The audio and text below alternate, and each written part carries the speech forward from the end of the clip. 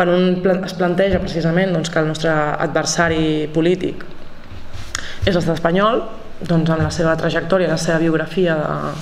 de vulneració dels drets eh, col·lectius i fins i tot polítics i també humans, això sembla una retaïla, però bueno, és llei mordassa, són les tortures que enguany fan 25 anys amb l'operació Garzón, són la no separació de poders, com hem vist amb, amb l'interrogatori que li han fet avui al president de, de l'Estat, un interrogatori que ha estat una farsa absoluta.